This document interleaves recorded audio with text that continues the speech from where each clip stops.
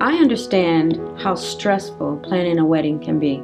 I have worked with many brides who not only needed a stylist, they needed a friend.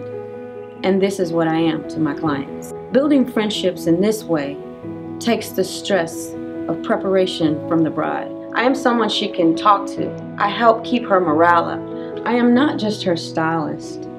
I am her confidant, her encourager. I truly am her friend. I walk with the bride and her party from first meeting through their big day. We don't just meet once.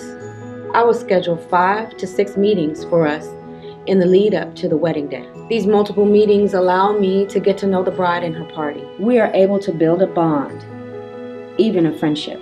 This friendship that we forge allows me to have the bride's complete trust, and she knows that I truly want to give her the wedding day that she has dreamed of. When the wedding day comes and it is time for me to get the bride and her party ready to walk down the aisle, we have developed a relationship that allows my bride to trust me with every last detail. She knows that I'm only concerned with making her experience stress free and beautiful.